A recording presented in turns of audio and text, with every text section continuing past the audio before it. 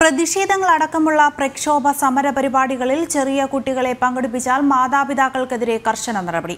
ഹൈക്കോടതിയുടേതാണ് ഉത്തരവ്. അധികാരികളുടെ ശ്രദ്ധയിൽ കിട്ടാനായി കുഞ്ഞുങ്ങളെ കുഞ്ഞുങ്ങളെ മാതാപിതാക്കൾ രംഗത്തിറക്കുന്ന സാഹചര്യത്തിലാണ് കോടതി ഇടപെടൽ.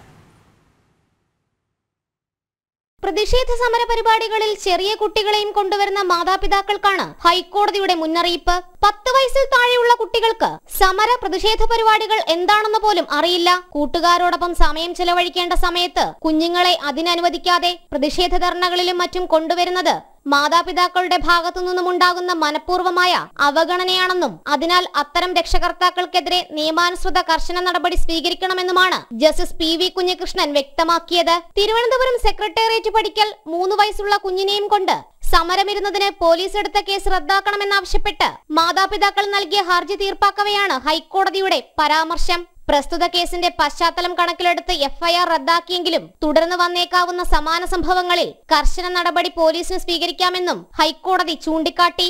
ജനം കൊച്ചി.